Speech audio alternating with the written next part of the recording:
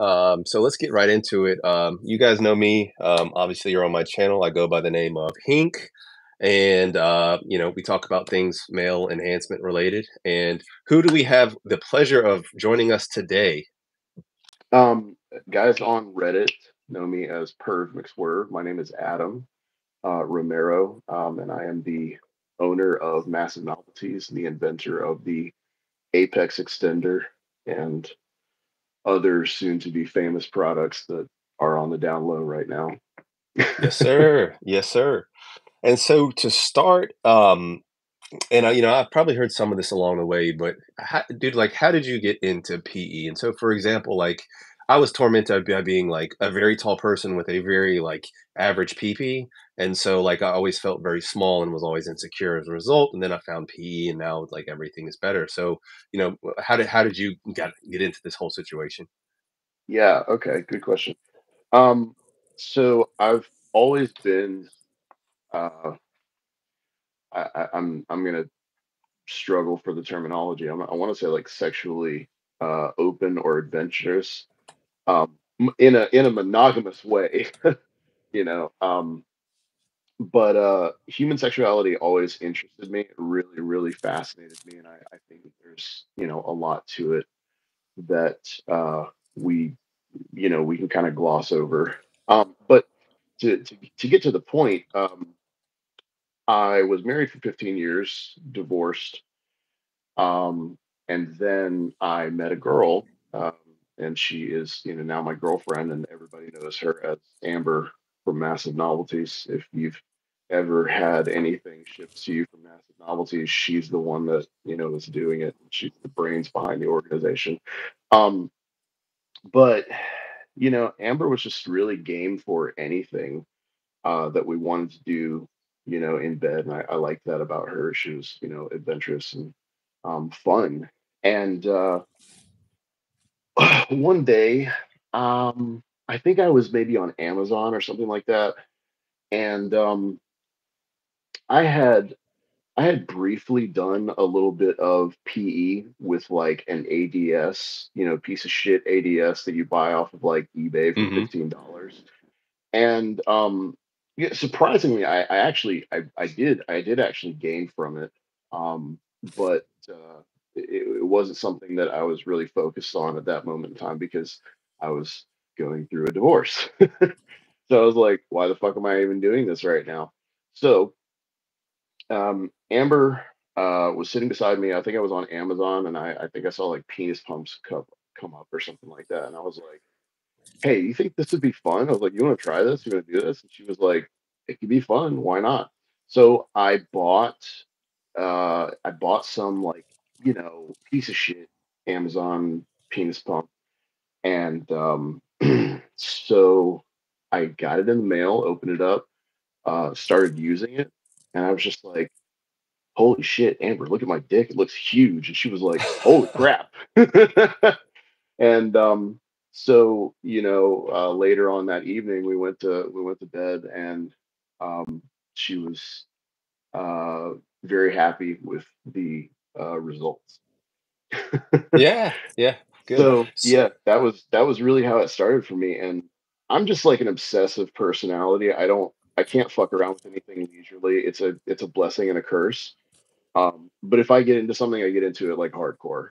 And so the second that I, you know, discovered that, you know, penis pumps were cool and fun, I was like, oh my God, okay, I, I need to uh I need to uh do a little bit more work and and research into this. Yeah, fair, fair enough. And so one of the guys commented and said, "Oh my God, that bro has some big hands." So, like, I think you've recently like measured your hands. H- how big are they? I have okay, so this is a big this is a thing. So like okay, like my hands next to my face, okay? So like Yeah, it's not like a camera angle or anything. So yeah, my hands are 4.5 because people because this is the thing dude i i upload my progress photos yeah. and i guess we can talk about this later because i know somebody asked because I, I uploaded my progress photos and i guess it just wasn't definitive enough proof for somebody that like um that i was actually you know almost nine inches Sure. because it was like that doesn't look like nine inches in your hand. And I was like, well, my hands are fucking huge. Like they're 4.5, they are literally 4.5 oh, yeah. inches across. Damn. And yeah, so, mine are about three and a half across. That's crazy. Yeah, dude. So, See, oh my gosh. Hands, so your hand, if I had your nuts, hands, yeah. my dick would look enormous. Yes. So, and I've, I've oftentimes like, I've fought the temptation to upload a progress picture with like my girlfriend holding it because I've been like, oh, I don't know, yeah, that might yeah. be too porn, it, porny. you know, I'll put a disclaimer on there, but dude, I got a solution. When we do your next progress pics, we can just use my hands uh, on on your meat. Yeah. I mean, problem solved, I'm, right? Yeah, be, it'll right. look huge. I'm, I'm, I'm, I'm down, down for that. But all seriousness though, like you have actually recently posted, um, you know, your your your progress. But for those that don't know, like so this is a two part question. Number number one, like you know, go ahead and list like your starting measurements and your current measurements. And number two, for my personal curiosity, is like if you had to say like what is the like the one most important thing that has been like the trick for you? Because quite honestly, dude, you have the like most gains I've ever seen in the shortest period of time, like ever, like period. Yeah. So what is what is would you say is like your biggest not trick but tip for if you can say one. So sorry. Okay. So what are your results and then like what do you think it's mostly due to? Okay, so my starting measurements are a little bit of like a point of uh debate and contention, even even to me. Um sure. because because I don't actually have uh starting progress photo. Um yeah. the first the first progress photo that I ever took was months into doing PE and I was 7.25 inches, like on the dot. However, um, more recently, like a few months ago, I actually, when I was uh, scrolling through, uh, scrolling through my phone, I actually found like I never send dick pics, but I I actually had sent this one dick pic like when I was like yeah. dating again. Right. And I found it and it was my dick next to a like a can of shaving cream because again, my hands like literally make my dick look very average. Yeah. Um, so I, you know, I was talking to this girl and I was like, no, seriously. I was like, I, I swear to God, I'm this size. And I was like, I held it up to a thing of shaving cream. Um, that can of shaving cream is exactly seven inches and it lines up exactly with the, the top of my glands. Um, the thing is, I don't have any fat in my hip creases at all to the sides. So if I do a bone press measurement from the pubic bone and then in the side to the hip crease, mm-hmm. I it'll be like an it'll be like an inch different. So it, my starting length is actually pretty debatable. I think BD and I have sort of eyeballed it as anywhere from 6.5 to 6.7. Um, you know, I, I, I, a seven inch can, you know, shoved into the, my hip crease. Like I also, I mean, you know, I try and tell everybody like, keep in mind it's a dick pic. I was trying to make it look as big as fucking possible. It's probably right. jamming that thing into my, you know, like hip socket. yeah. So, yeah. Um, and then currently, uh, my my most recent measurement was just under nine inches. I suck at uh, remembering like the fractions, but it's it's like something. Uh, you know, it's like one sixteenth of an inch, or or like one eighth of an inch less than nine inches. Um, and over what actually, time span? Um, so this is a thing is like I, early on, I really never wanted to tell anybody when I started PE because I was gaining so fast, and I saw guys on the forum like I saw guys getting absolutely just like flamed for saying that they, sure. they gained an inch or they gained an inch and a half or something like that. So like, you know, to this day, I haven't actually said when exactly I started PE, but I will reveal now.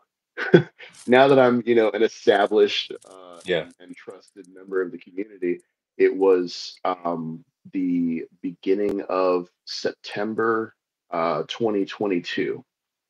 Damn. So I invented, yeah, I, I came up with the um I came up with the Apex or what would be the Apex, came up with Frankenstein December 15th. And so that's why that's why my progress post was originally on December 15th because I wanted it Mm. to be one year of high tension extending. Mhm. Um, and sort of to show people, you know, what the results were from that. So uh, you asked the the secret, the trick. Um, I think I have really good. I think I have really good genes for it. Um, like I am, I am like unusually uh, flexible. Mhm. Like most like 260 pound guys can't like take their foot put it Oh. over their head, you know. And so I can um oh gosh, So, that's ridiculous. I can still I can still and I, I don't practice doing that either. Um uh and I can still actually do like a full split. Le- Yeah. legitimately I can do a full split. Um you know, maybe within two inches off the ground. And again, I don't practice that. So I think that I have a really advantageous genetic disposition to PE because my, you know, collagenous and ligamentous soft tissues seem to be very supple at rest. Yeah. So, um, So I, I- think the other thing though that I would say, you know, genetically genetically gifted, absolutely, I will admit to that. But I started out right. I really did. I started out with a plan and I stuck to it. And you know, if I if I learned anything from so I'm an all-time top 100 um, power lifter in the 242 class and if I could tell people the number one fuck up that they're making in the gym or like why they're not getting stronger is because they're not sticking with a program. mhm. They'll do 3 weeks of this and then they'll do you know 4 weeks of this and like they never stick to a program. And the, the truth of the matter is if you stuck to even a shitty program, you would get stronger. You would get bigger. If you were consistent with a shitty program, you would get stronger and bigger and better and faster and you know a huge dick. But so that's the thing is that I, I see guys program hopping in the pe world too. But i knew already from experience that you know that was not the way to go. And so i just uh i just i i you know listened to read everything that m9 had written uh what BD had written what you had written and said.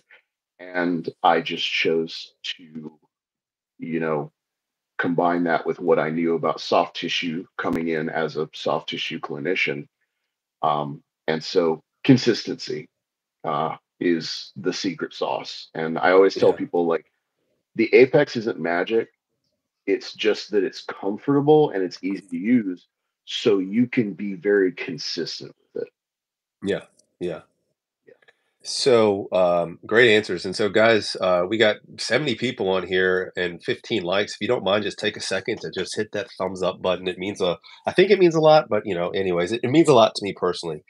So, I also have a two part follow up question. And so, Yeah, I'm not trying to be like, oh my God, I'm so medical. Look at me. I'm so cool. But I don't know if you're familiar with like Ehlers Danlos syndrome, where you like literally, or like Marfan syndrome, where you have these like connective tissue disorders. Um, Yeah. But you know i always wonder like are those people actually going to be more prone to making gains if they're i mean kind of similar to what you said if they already have like a, a loose you know collagen connective dis- tissue disorder um Yeah. and So, go ahead yeah oh no, please finish. I'm sorry. I didn't mean to interrupt you. oh well it's better that you answer this because it's a kind of a separate question so so go, yeah no go ahead Okay. So interestingly enough, I actually had a lot of clinical um, experience treating people with Ehlers-Danlos syndrome. Um, and the the thing about that, so so Ehlers-Danlos syndrome is basically just like an extreme pliability in the soft tissues, right? right So the thing is, I think that because those tissues are so supple, um, supple great they, word they probably it, you know it's a it's actually something i don't know it's a physical therapist thing like i you know all the pts that i ever used to hang out with would actually say that like it's a you know, yeah.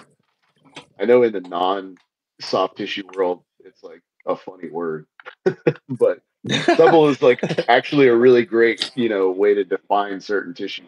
So people with Ehlers-Danlos syndrome have hyperelasticity in their connective tissues. Okay, Okay. so the thing is, you would think that these guys would grow really well from PE, but I actually, I actually think it might be the opposite. Hmm. I actually think that because one of the ways that we grow our tissues is through the proprioceptors sort of feeling pressure, feeling danger, feeling tension. So we have mechanical overload, mechanical stimulation, right? I, I think that to get them the proper amounts of mechanical stimulation, I think it would take a lot. Um, and Sure. you know, we do know that there is a there is a response that's caused by micro trauma, right? Now, the thing is, in in the hypertrophy world, we've proved like a number of years ago that like micro tears are not they're not the most prevalent factor in hypertrophy. They're just not. Um, Mhm. It it is something that happens. You do damage the cells, but it's not to a large degree. It's not like a huge percentage. You know, it's not even like ten percent. Um, you, you're talking about like a very small, small percentage. And there are other factors like edema, uh, mechanical tension, and time under tension that are actually way more important than that. So all of that to say, I think that people have uh, that have Ehlers-Danlos syndrome and things like that, they actually might have a harder time gaining. But that is my hypothesis, and I've not actually run into anybody that does PE that Right. has had it. So Right. Yeah. Yeah. See, I always wonder.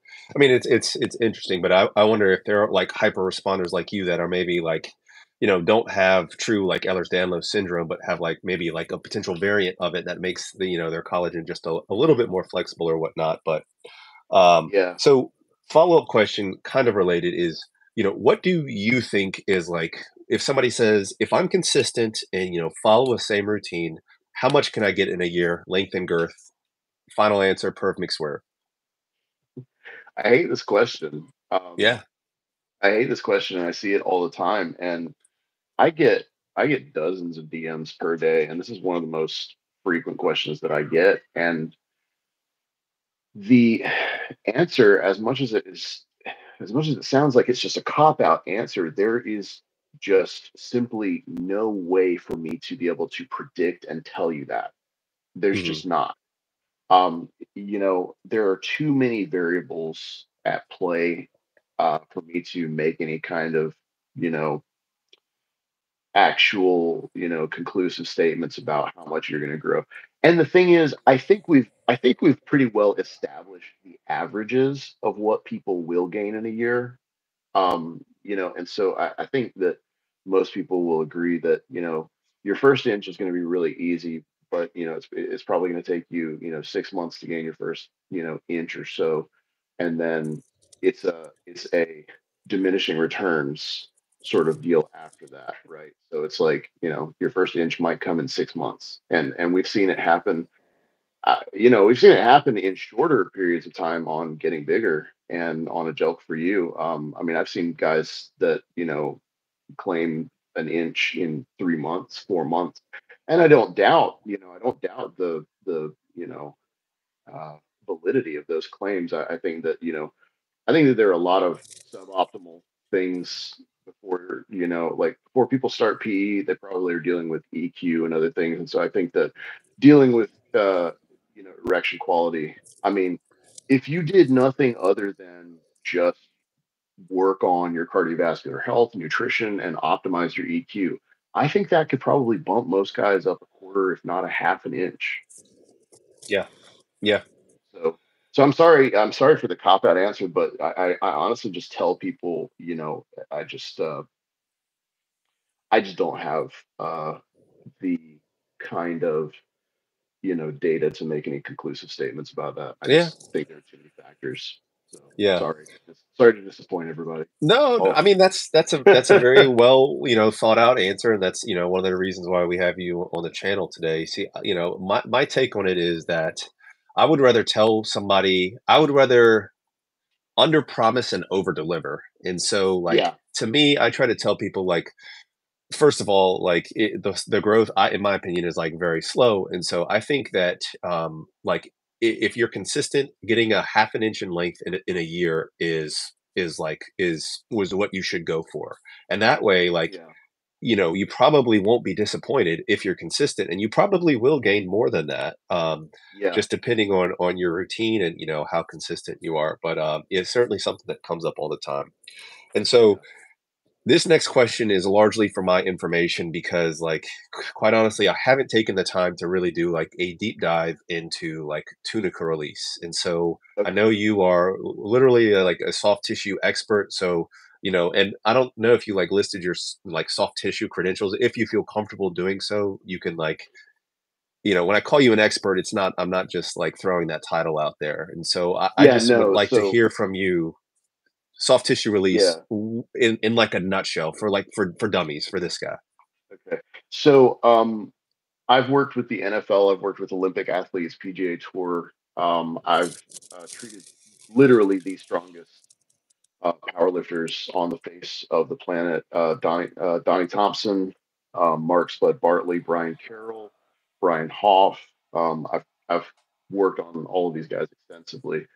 Um formerly, I studied, um well, a little bit of my, like, medical background. Formerly, I studied emergency medicine, uh, to be a paramedic, um, and then I actually went from that to, uh, biomechanics, kinesiology, and clinical applications of soft tissue work, um, and I was, you know, fortunate enough to participate in a couple of studies and, um, you know, uh, contribute to some, uh, journals, and, uh, so I I you know, as much as I hate self-aggrandizing, like, terminology, like, I I uh, you know, I I've spent the, you know, last decade being a soft tissue expert. So, um those are the reasons why anybody should give a fuck what I think. So what what is what is your what is the question? Like, what is tunica release? Or, like, what, you know so, um, like, for me, like, I don't do any tunica release, um, mostly a time constraint thing, but basically, like, what is it in a nutshell? Like, what does it accomplish, and and how important do you feel it has been for for your gains? Okay, so, uh, to start, we have to go over a little basic anatomy of the penis, right? So before before we went live, you and I were talking about the established layers of fascia in the penis.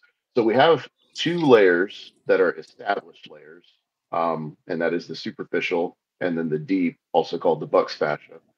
Um, so it is my opinion that the tunica is a fascia-like substance. It seems to be, uh, because the interesting thing about fascia is that fascia is a connective tissue, but it is just as much, maybe even more, a nervous tissue. Um, fascia actually has I don't I don't know if you know this or not, fascia actually has 10 times the proprioception that muscle has. And so, you know, that's basically to say fascia is 10 times more connected to our brain than the Mhm. surrounding muscle. So, um, we we don't tend to think of fascia as this, you know, really important thing, and it and and it truly is because, you know up until, you know, the last 100 years or so, I mean, they literally, you know, even medical textbooks and and things like that would just refer to it as viscera, you know, or something like that, and so, it was just thought that it was just this loose connective tissue. Um, Right. now we know that it's actually an organ system. It is, you know our our fascial system actually processes per second more information than all of our senses combined. Um, and so, you know, that's that's why we call proprioception our 6th sense, right? Um, proprioception just, you know, for for everybody, proprioception is just how you know where you are in space. It's how you can close your eyes and touch your nose, because you're not actually using touch or sight or smell or hearing, you know, to to to to do that. You're you're using, uh, proprioception, specifically what's called interoception, which is where your body is in space and what it does.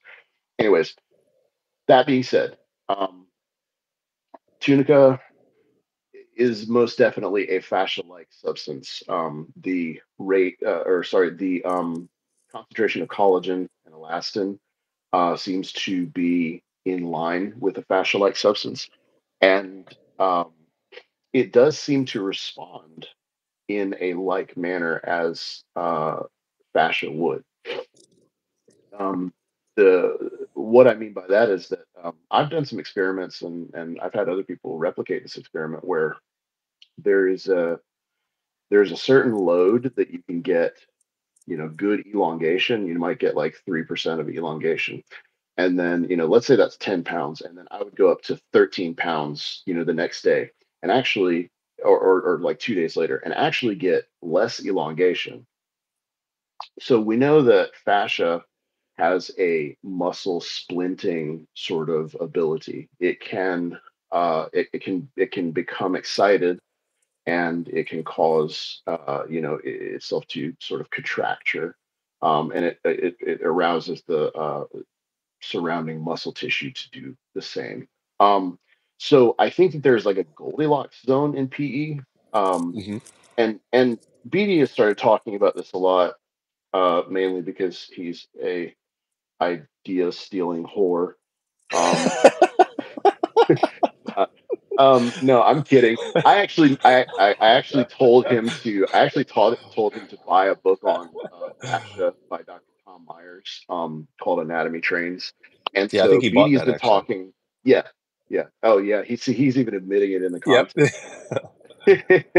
so I've gotten BD thinking a lot more about the central nervous system and how it reacts. Hmm Um, because you know, to take it to something that you'll understand. I mean, you you understand this. Like most people might not know this, but um, you know, if you if you try and pull somebody's arm out of socket, even if they're unconscious, uh, their their body is going to resist it. Their muscles, their central Sure. nervous system is actually going to resist it. Now, if you take that same person and you put them under general anesthesia, you knock out their hmm actual CNS, you can easily dislocate somebody's shoulder. You know, because they don't have the reactivity, they don't have that response going on.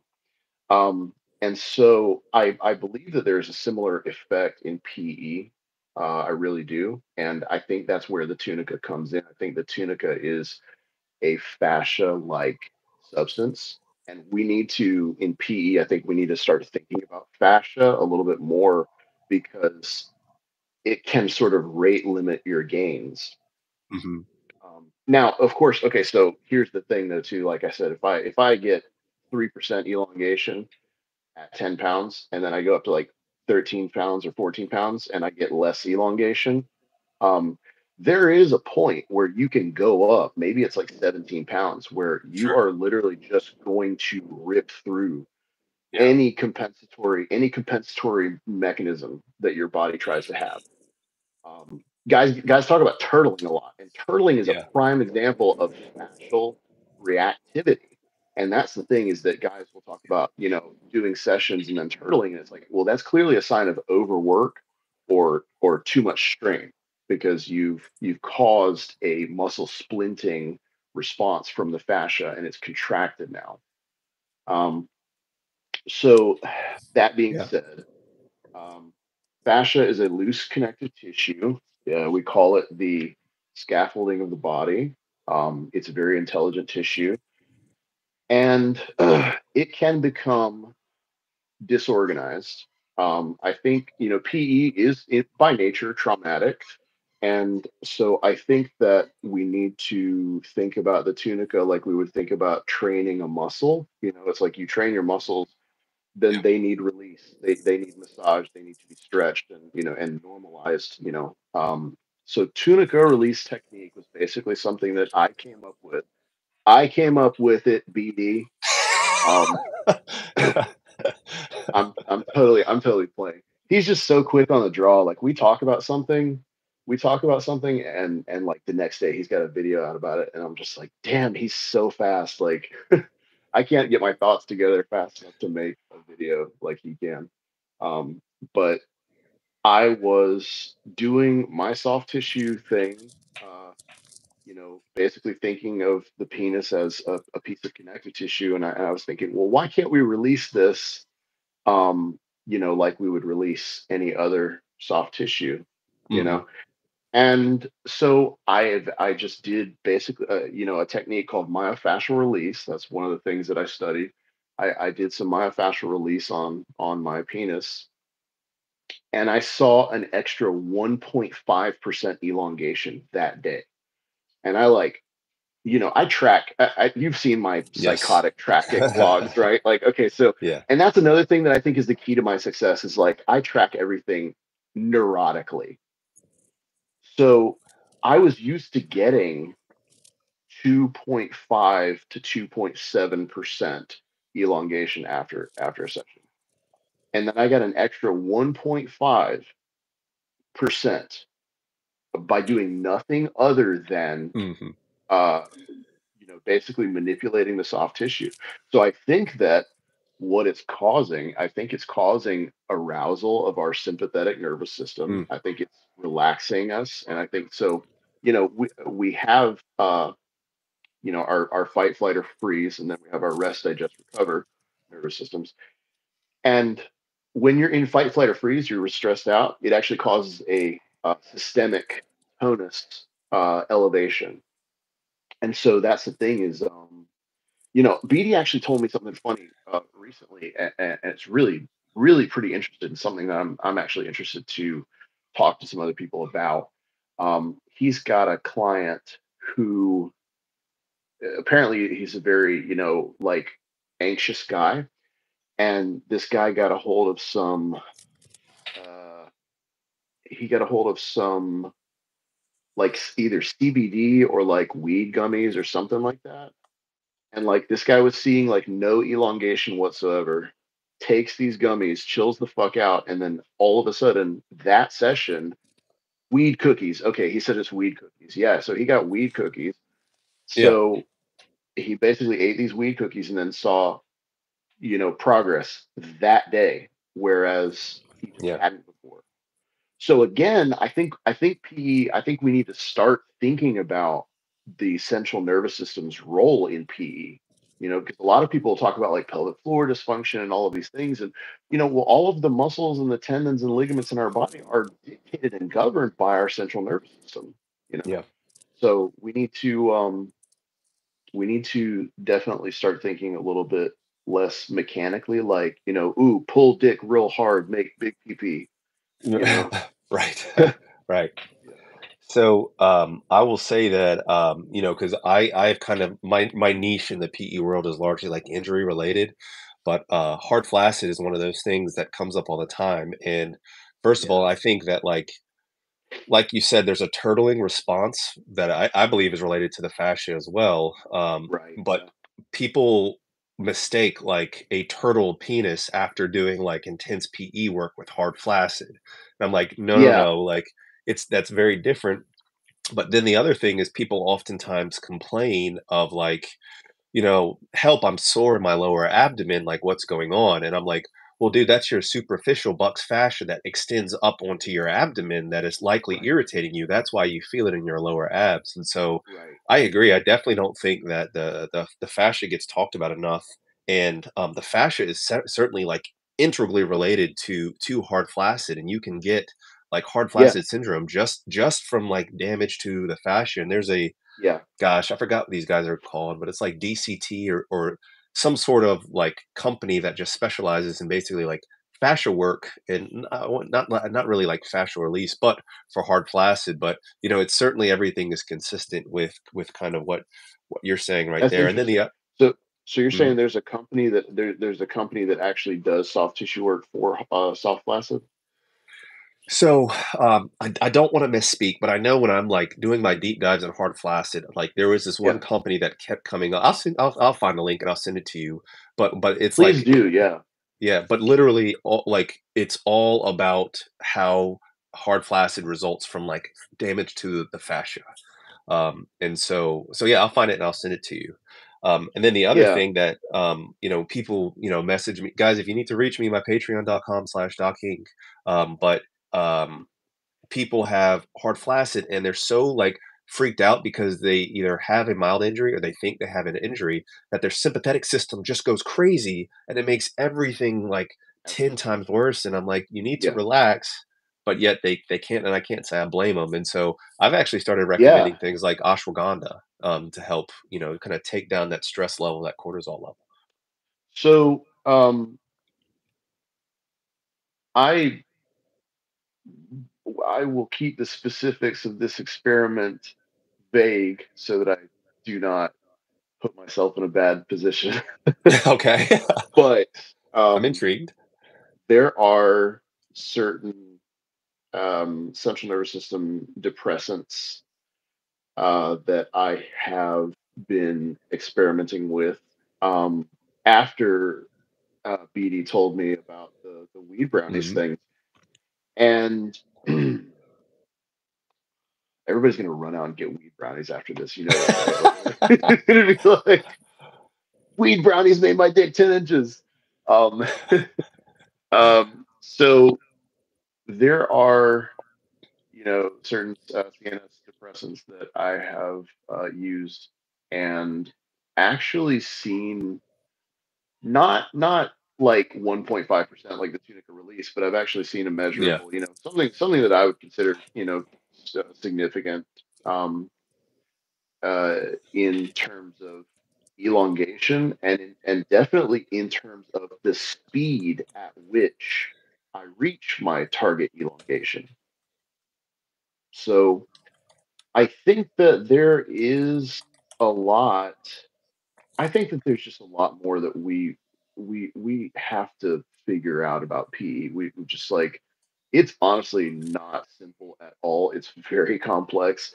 You and I were talking about on you know earlier before we went live, like anatomists can't even agree Right. completely on you know certain parts of the male and female anatomy. I mean, and there's you know ketamine. It wasn't ketamine. No, I was supervised and that was prescribed. So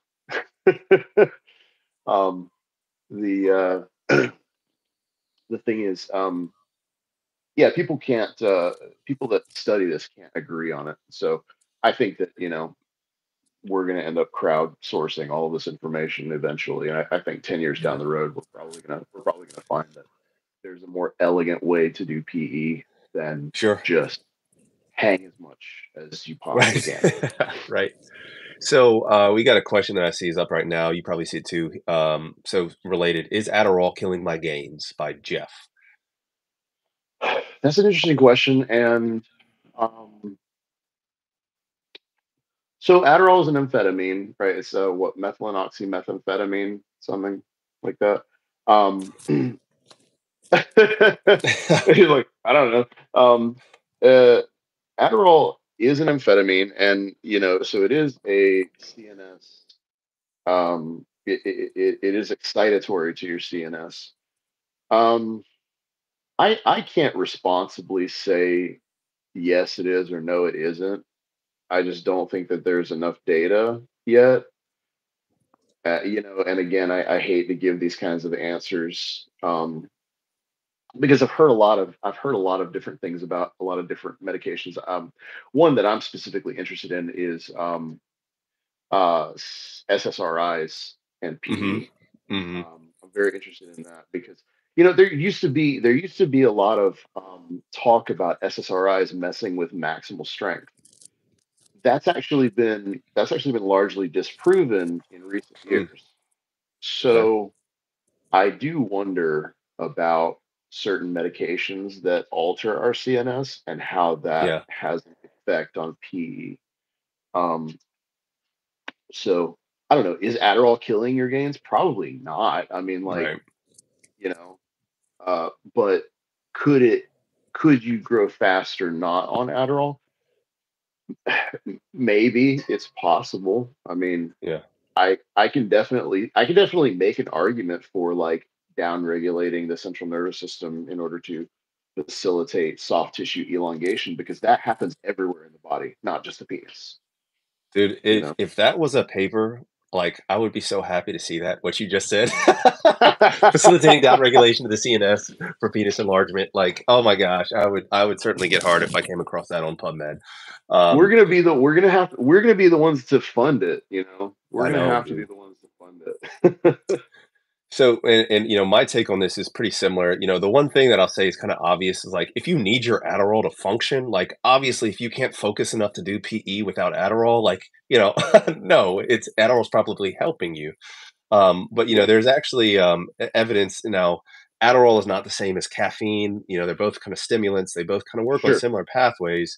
But uh, because there's an argument like, oh, is caffeine killing my gains? And and actually, most of the evidence says that like caffeine in moderation can improve erectile function.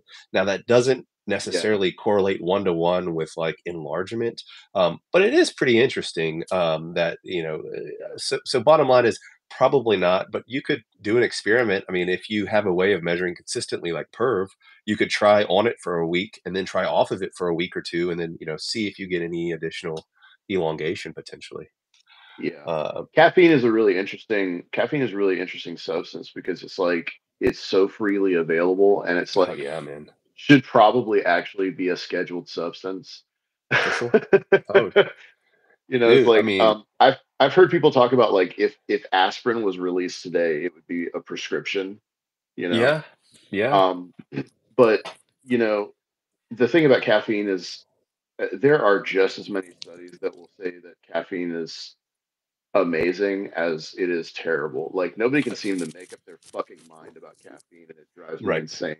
And right, yeah, yeah. I mean, that's I don't know, and there's not to go down a rabbit hole, but there is there's so much bias.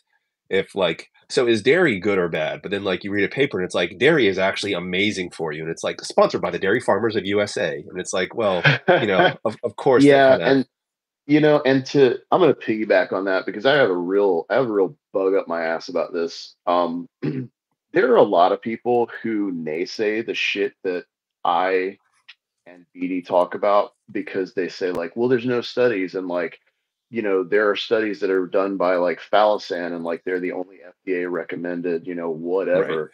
Um, okay, right, just remember that heroin was FDA approved at one point in time and actually prescribed.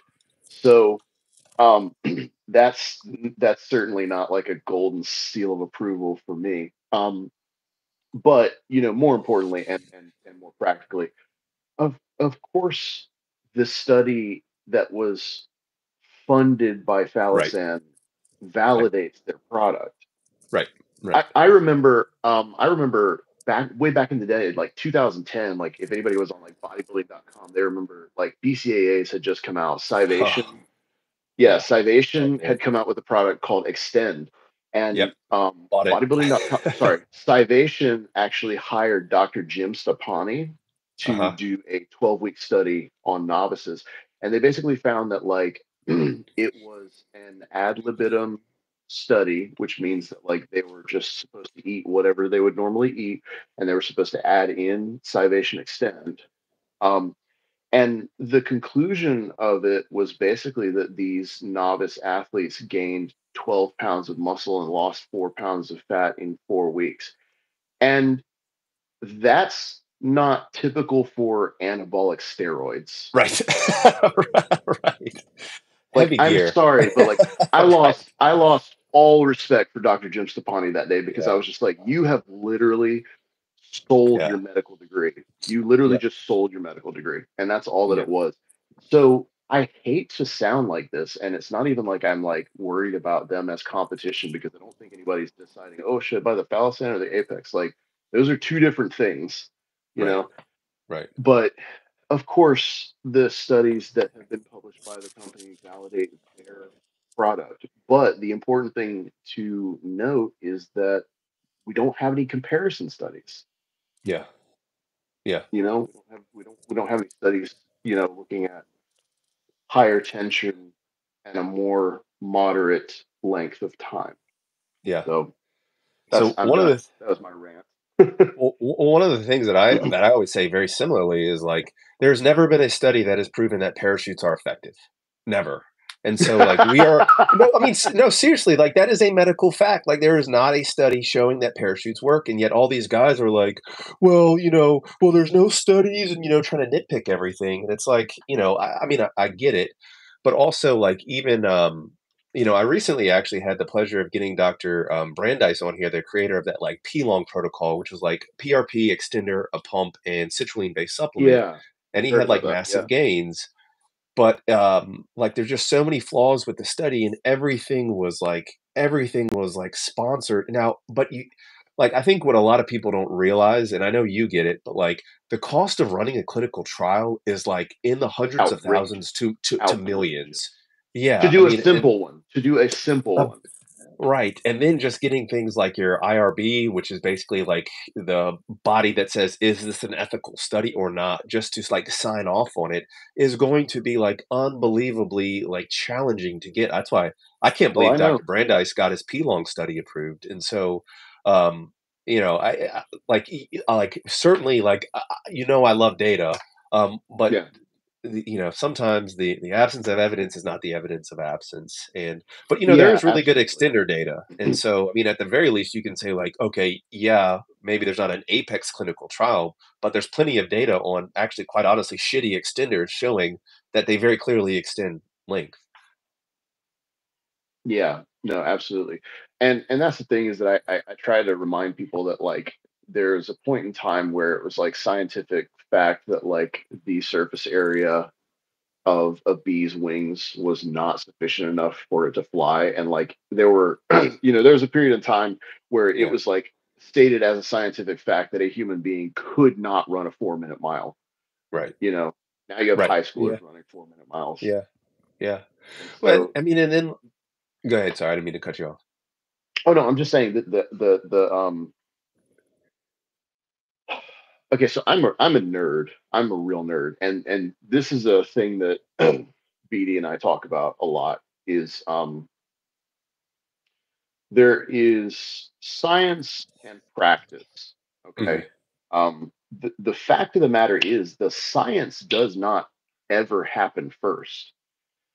You don't come up with you Right. don't come up with, you know, a a protocol or a technique or something based on you doing a study on it. No, what happens is somebody's doing their master's degree or somebody's doing their doctorate, you know, doctorate degree, and they already have an insight into some world or some, you know, some practice that's going on or something like that. And they decide to test it and they validate something that we already all actually know works. Yeah. Like, Right. um, so uh, Dr. Uh, Charles Poliquin, uh, legendary, legendary coach, um, coached more gold medal Olympic athletes than any other human being in history. Um, uh, so uh, Dr. Poliquin said if he waited for studies to validate his methods, Mhm. he would miss two Olympic training cycles. So he said it would take it. He would. He said it would take people at least eight years to validate my training methods. But the fact of the matter is, he trained more Olympic gold medalists than anybody else in history. Yeah. So, like, you have to ask yourself at what point do you become a slave to the data? Right. You know. So, like, there are things that you know. I I love BD. I absolutely fucking love him to death. Seriously, we we bonded like this. Oh, I Um, could tell. like like right off the bat, right off the bat. Yeah. but there's just like a couple of things that he likes to be hard headed about with me Wait, BD because is be, hard-headed? What That's not the guy that I know. because of because of some scientific studies or something that have like Sure. said something to the contrary. And so my response to these things is like I hold these beliefs because I squat over 900 pounds and am a top one all-time top 100 power lifter. And Yeah, so yeah. it's like you can you can believe these you know studies if you if you want but the fact of the matter is the people at the very top and the people that are succeeding at the sport like we we already know the facts of the matter because we're doing the things that Yeah, people are going to do studies on later right. And i think pe i think you know i think BD's on the right path with you know interval length protocols and things like that and, I- and i think that he's going to be very validated one day in the future Mhm. um you know when somebody finally does studies i think that it's really going to validate a lot of what you know he has brought into the pe world but Yeah. again you know that that's where he um you know he is pioneering in in that way um but yeah I, I just i don't think we can be a slave to the data i think at some point you need to you need to know the data you need to know the science but at some point you need to trust in your experience and you need to, you know, like when I go to train in the gym, like I don't take my fucking Excel spreadsheet. Like, you know what I mean? Um, that actually kind of surprises me. I'm not gonna lie.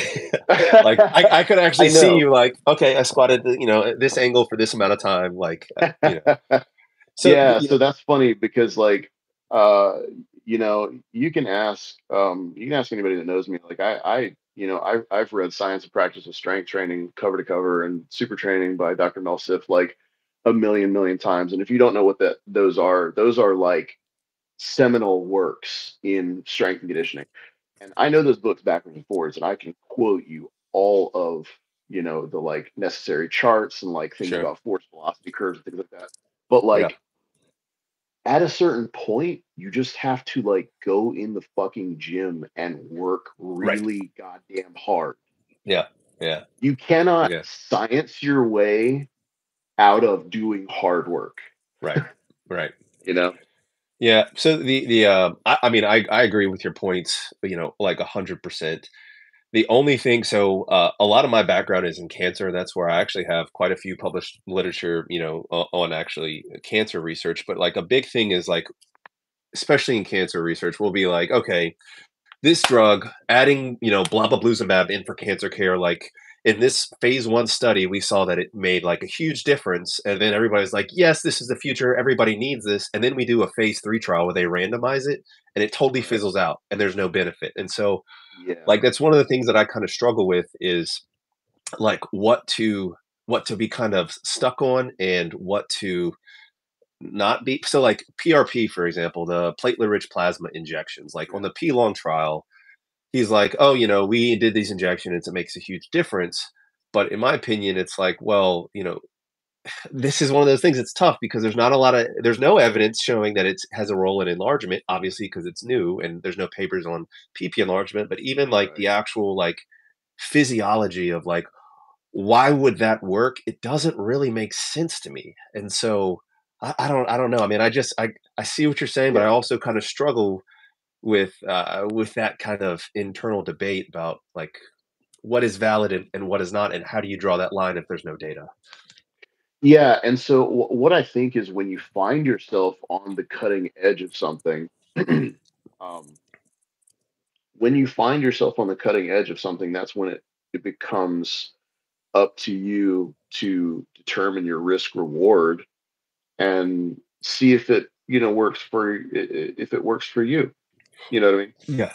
Yeah. There's not a study yeah. showing there's not a study showing that BPC 157 increases, you know, your your penis length or girth, but I've done two 30 day runs of BPC 157 injections and at both times uh had like a I, I don't know, I think it was like a 10% uh increase over the previous um over the previous like what would be my projected gains, what I would expect sure. to gain. Yeah. Is like 10 percent more both times. So again, okay. like there's not we're gonna stop you there and we're gonna talk about that right now. Uh, okay. So um, you know, breakdown for those that that are watching that don't know about the peptide, you know, BPC one five seven. Um, just give a brief just like a very brief one liner what it is and like how and just a brief couple lines about like how you sure. applied it Sure. BPC 157 stands for Body Protecting Compound 157. Um, it is a peptide um, that was isolated from our gut. Right. Um, it plays a really important role in wound healing and cellular reparation. Yeah. So, um, again, we know that we do cause a bit of micro trauma to the tissues. Um, when we do PE. And I think that BPC 157 um, injections, uh, I think that they help speed your recovery rate so that you can train harder. So there's okay. oftentimes this, so like, sure. uh, you know, I, I've never made a, um, I've I've never made you know I, have made it very clear to people that um you know I, I have used performance enhancing drugs. Sure. Um, it is a part of my sport. It is it is what it is. Um, and I'll, I'll go ahead and answer this question because somebody's going to fucking type it. No performance enhancing drugs do not help with PE at all. They don't. That's literally the question I just typed on my notes. no, they don't. There's there's no there's no possible way that it could because you know none of these none of these compounds have any direct effect on connective tissue. Um, so think about it like this: like most of the androgen receptors, um, anabolic steroids aren't selective. Like that's why that's what SARM that's what SARMs are. They're selective androgenic receptor modulators. So basically, uh, you know, if you're taking uh, an anabolic steroid like testosterone, it's going to bind to your androgen receptors wherever those are. Um, oh, shut up, BD.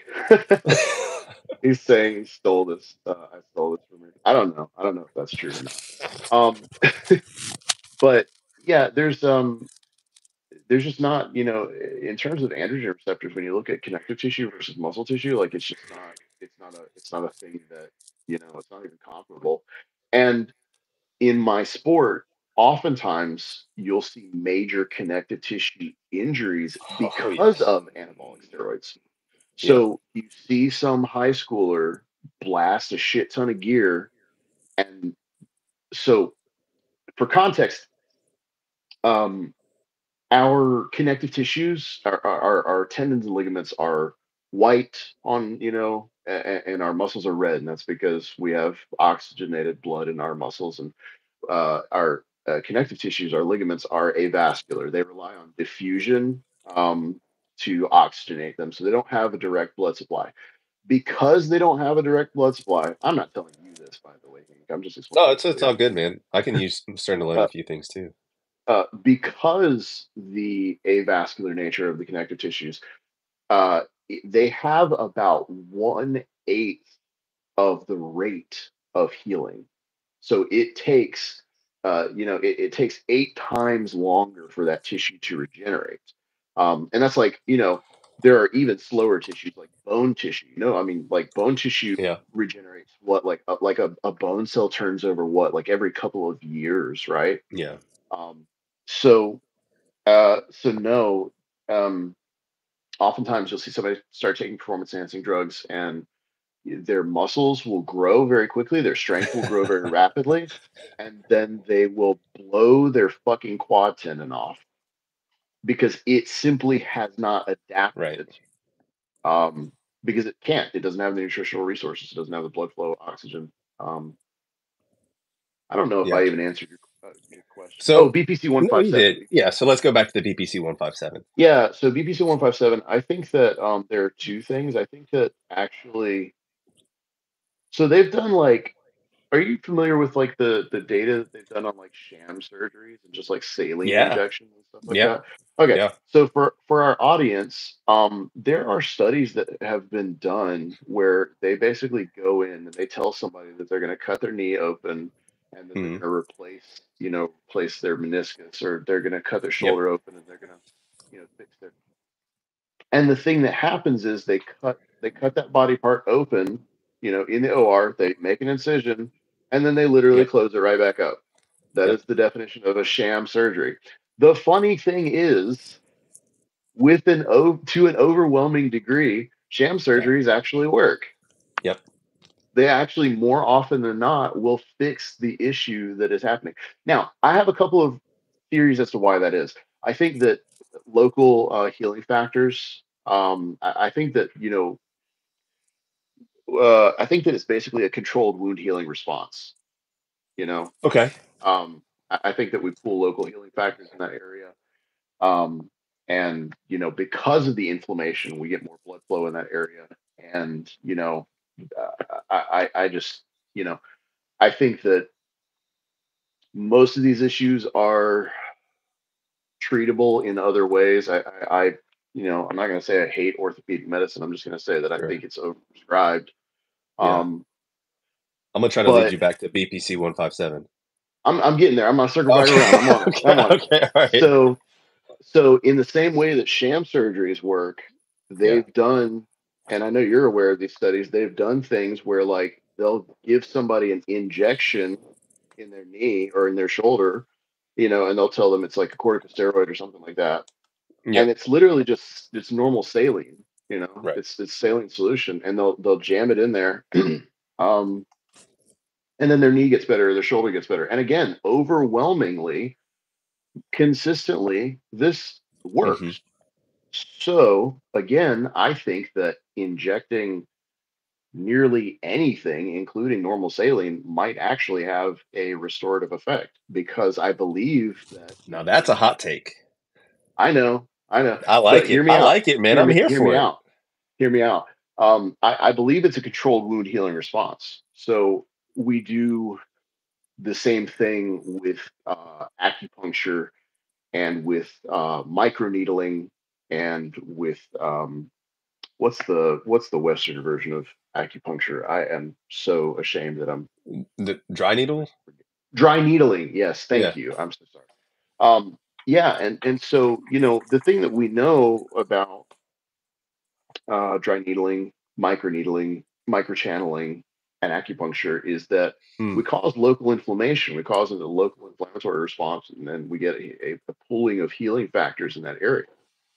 Um, so I believe that there, you know, is some benefit to using BPC 157, but I actually tend to think that, you know, if you injected normal saline, you you may actually have uh you may actually have a similar result. So Oh, That's an that's I love that hot take, man. I'm serious. I, I, I love that. So, and ju- just to be clear, when you when you say injecting BPC one five seven, you are talking about into your actual penile tissue. Into the corpus cavernosum, yes. So using the intracavernosal injection technique. Um, there are a lot of people that talk about doing it into the fat pad. I wasn't really, you know, I'm not afraid of needles, and so I was like, uh, sure, I'll drab an insulin syringe into my dick for science. So, so you know, guys, just so you know, my take on this, um, you just have to be careful. Anytime you inject anything into your cavernosal tissue, there is the potential for scar tissue developing. There's a rat study that showed that just the fact of just injecting a needle led to increased scar formation and like a higher risk of potentially Peyronie's disease. Typically, you know, in in favor of what Perv is saying, you know, there, especially with something a healing peptide like BPC one five seven, in theory that might like reduce that risk. But I just I just want to be clear. And so, how often did you inject this? I mean, I'm I'm curious, dude. I mean, like, how Uh, often did you my inject? my protocol, um, I can't really outline my protocol right now, my training protocol, because I developed a, uh, BD sort of knows about it, but I, I developed a protocol based on auto regulation, based on my daily bone press stretch flaccid measurements.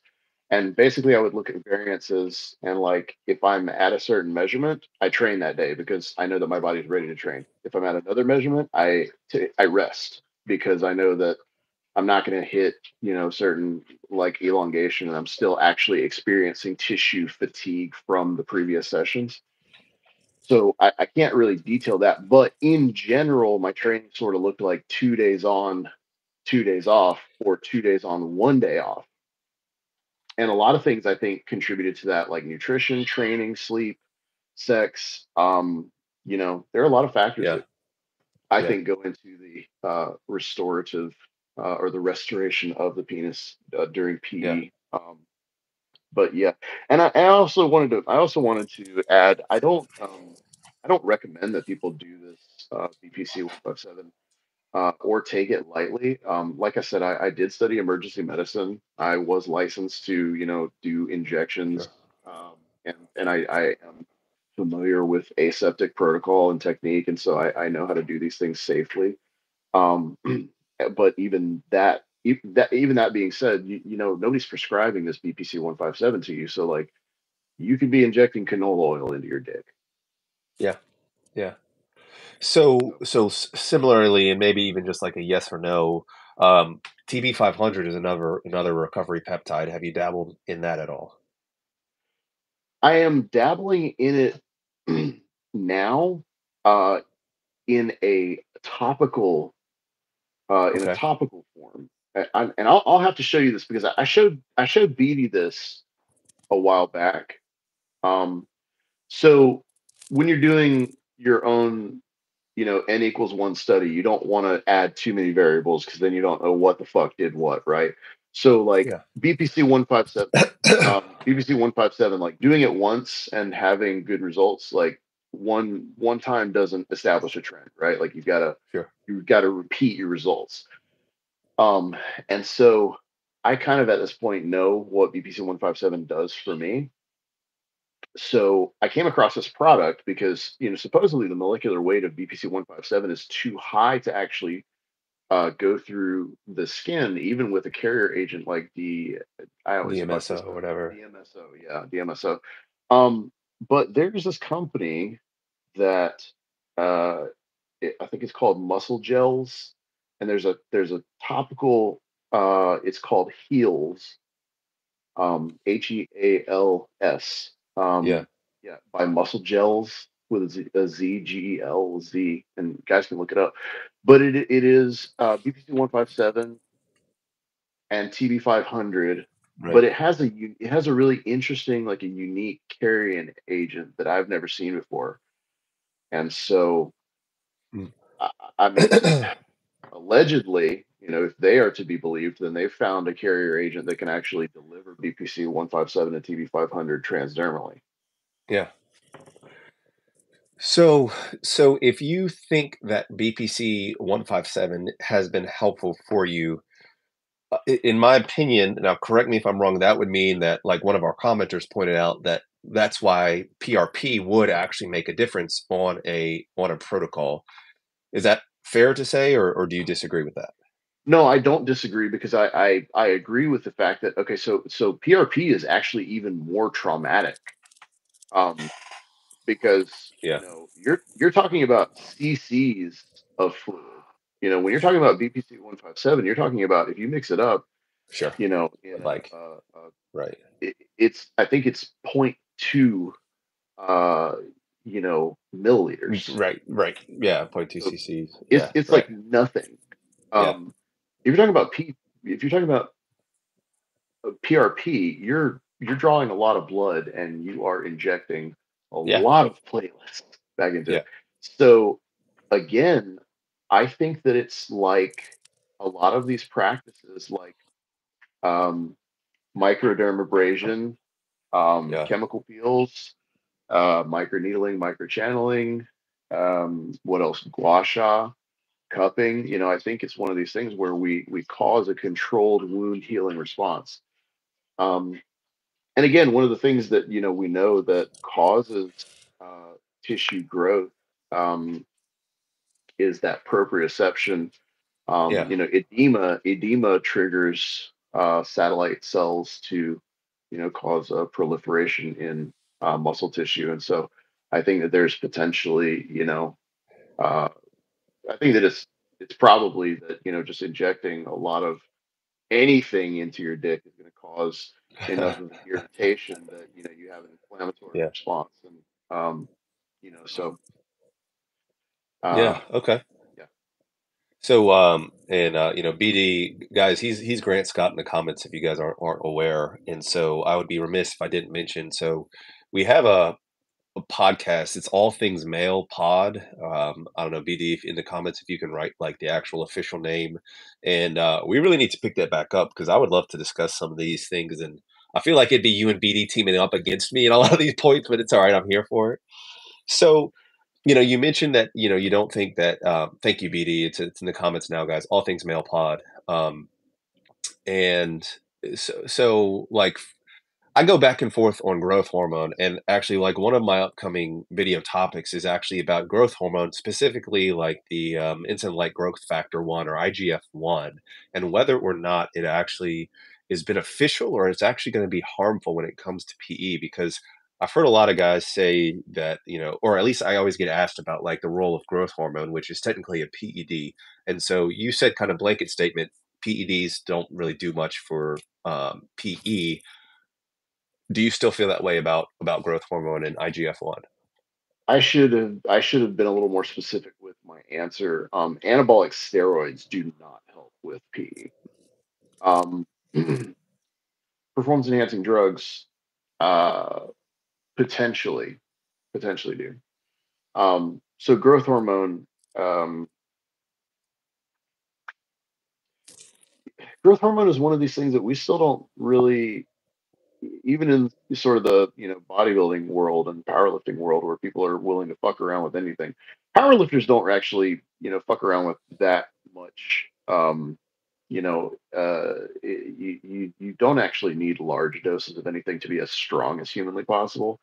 It's when you're trying to it's when you're trying to uh, accomplish goals that are mutually exclusive naturally like gaining muscle while burning fat um, that you need a shit ton of different you know compounds that are sort of working right. to get you at a super physiological level of muscularity and leanness simultaneously but all that to say um, i've never done growth hormone i don't intend to do growth hormone okay. because sure. i i do not think that growth hormone actually helps or has a place um, one of my one of my uh, mentors in powerlifting uh, is um, the great Stan Efferding, um, who's the world's strongest bodybuilder, um, inventor of the uh, vertical diet, um, and uh,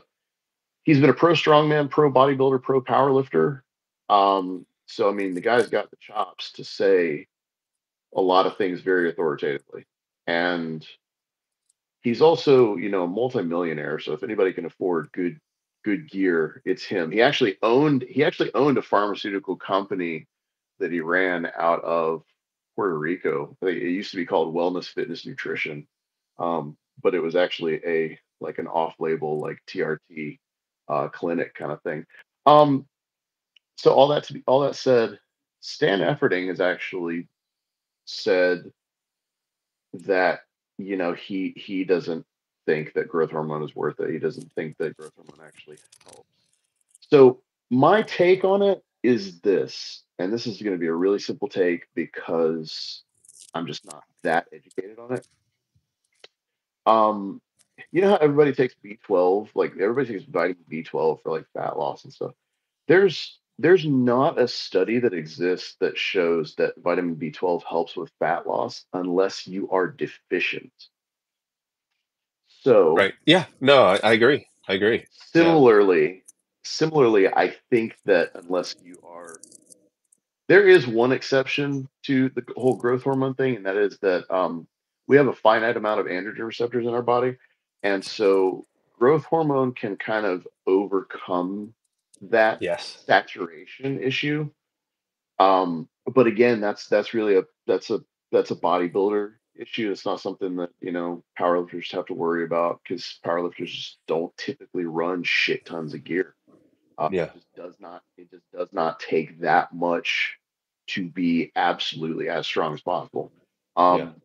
So, a final statement: I I believe that growth hormone may be beneficial if you are deficient. Okay.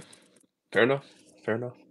So it's uh, you know I was planning on this just being an hour and we're already at like an hour and almost 15 minutes. So let's try to knock out these like last couple okay. of questions that I have uh, pretty pretty quickly. So as BD has liked to call me out in the comments, so I don't I don't know if you knew this, but I am like I am not very pro rest days, and so um, okay. you know with with a specific caveat like my entire routine sometimes takes as little as 30 minutes and it's like 10 or 15 minutes of stretching and then like 10 or 15 minutes of pumping and then that's it and so yeah. um, you know uh, it's i don't feel like i need to take more than 23 and a half hours off to recover and when i interviewed dr brandeis you know he kind of gave a an unfulfilling answer because I was like, "What do you think about rest days?" And he's like, "Mother Nature doesn't take take rest days, so I recommend my protocol seven days a week."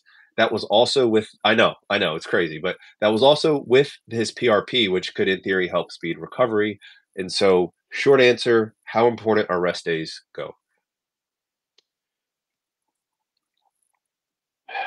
You're gonna make short short answer. All right, I could see the wheels turning. I will answer this as I will be as succinct as possible. Um, rest days in training, powerlifting, are Mhm. determined by your level of conditioning and your total volume. Okay. Okay. So one of the ways that I train is I will do my heavy movement. I'll work up to a max effort squat, a bench, or deadlift in an evening. And then the next morning, I will go back to the gym and I will do accessory work to build the squat, the bench, or the deadlift. Okay. So I actually train. Um, it- it- my normal schedule actually has nine training uh, sessions in a week. Um, wait, hold on, four. Yeah, so nine nine training sessions in a week. Um, some people would say that that's a lot. The fact is that I have the conditioning to actually do that.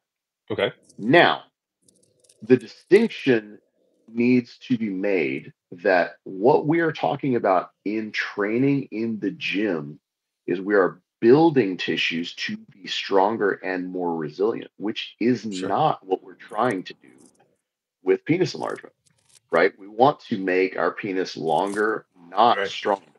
Okay. Right. So I think that in your case, if you're doing 30 minutes or you know 15 minutes or something like that, I just don't think that you are at what in training what we would call your maximum recoverable volume. So if you're not hitting your maximum recoverable volume, then I think you're fine to train every day. Um, so people have to realize that uh, work and recovery have to exist at an equal rate in order for progress to continue. And that's Right. true in training in the gym. Um, you know, you have to recover as hard as you train.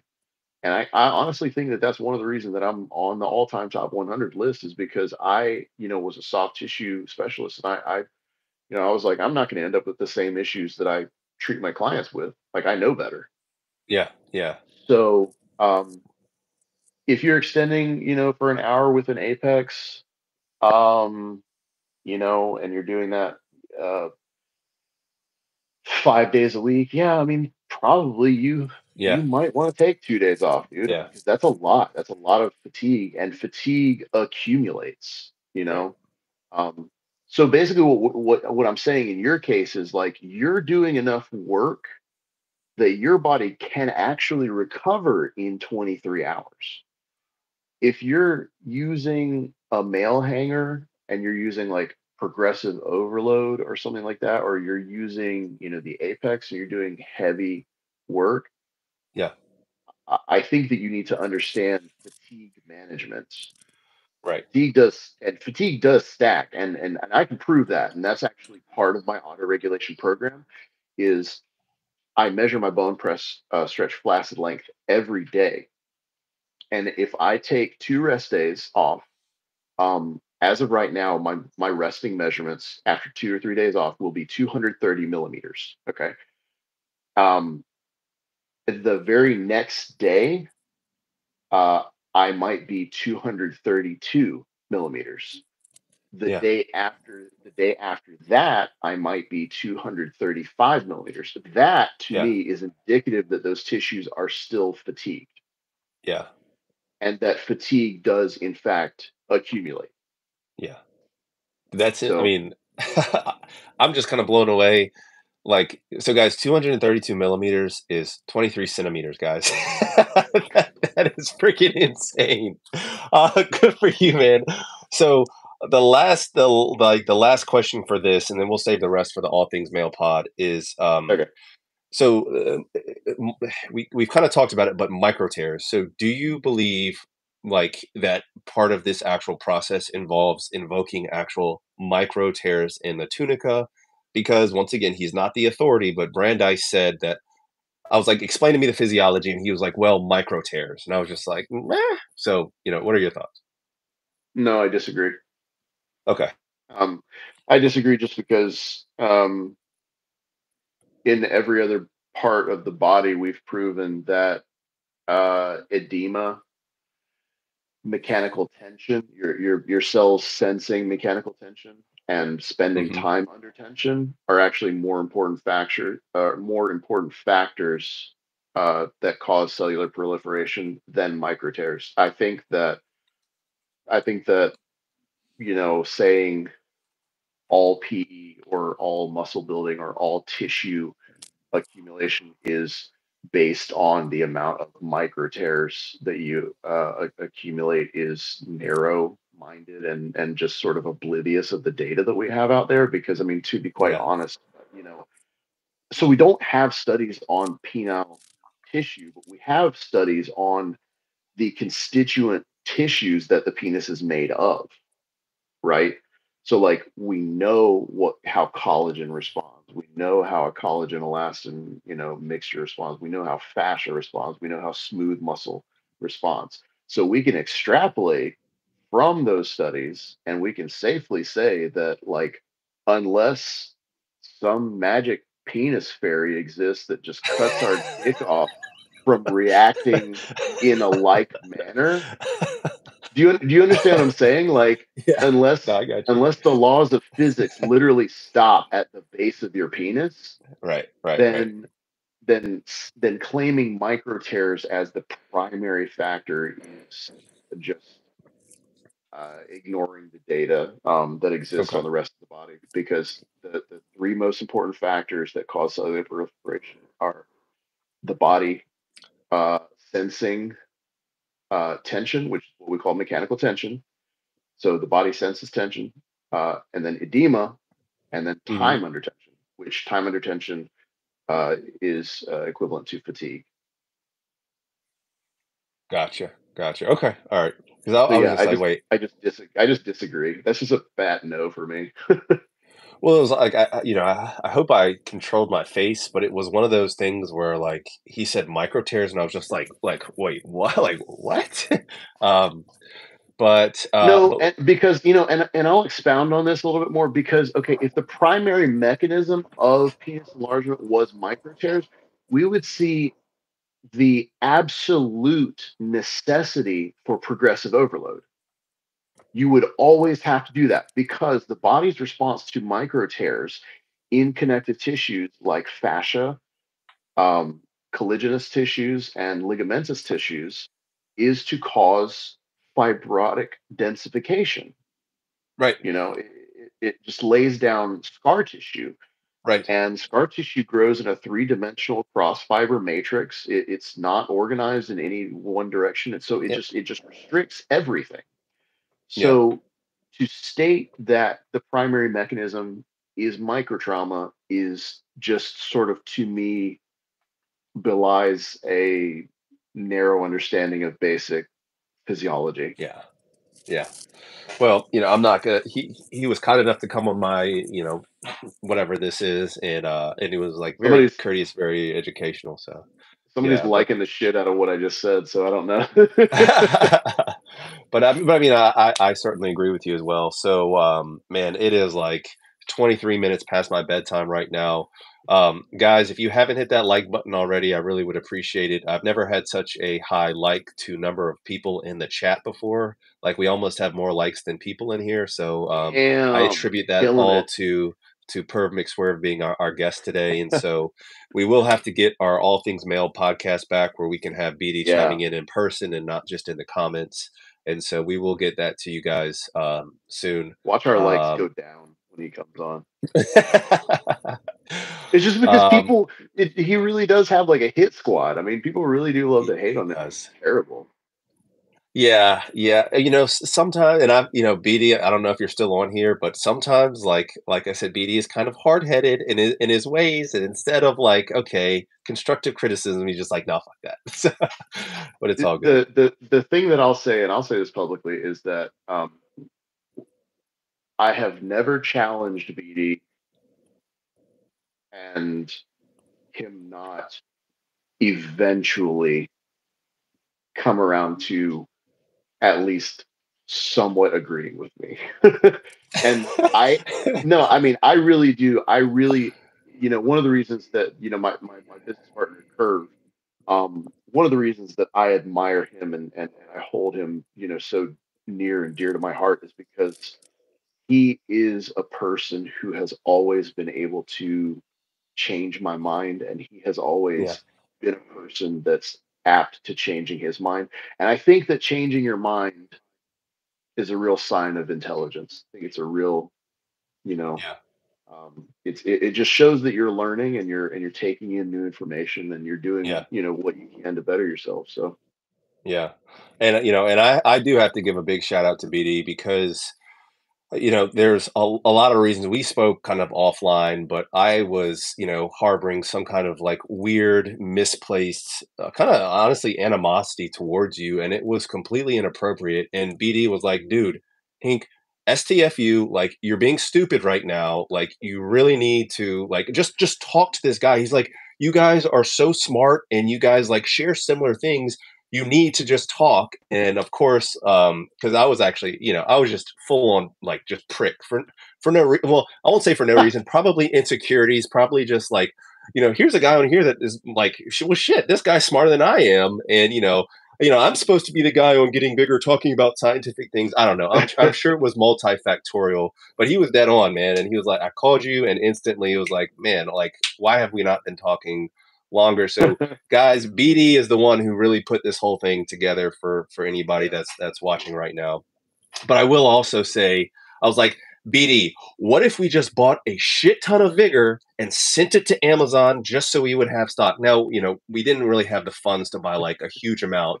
And he was like, no, no, no, that's a bad idea. Let's not do that. And then like a month later, the dude was like, Hink, what if we got a bunch of vigor and sent it to Amazon? And I was just like, like, dude, I just, I just said that, you know? yeah. Uh, and he's like, yeah, I, I know, I know. But anyways, oh yeah, I love BD too. Um, you know, I we do. certainly have our little, our lovers quarrels, yeah, but, uh, yeah. Um, so anyways, guys, um, Adam, I can't thank you enough for being on here, man. We got to do this again with BD. Um, you know, absolutely. Yeah, the viewers have enjoyed it. I've learned a lot. And um, thank you all for joining. If you haven't already, hit that like button and um, catch you guys on the next one. I got to remember my catchphrase. There's nothing wrong with self improvement, guys, but just remember you are enough just as you are. Okay. Uh, catch you guys on the next one. Peace and love. All right. Now let's see if I can figure out how to end this live. All right, guys. Later, guys.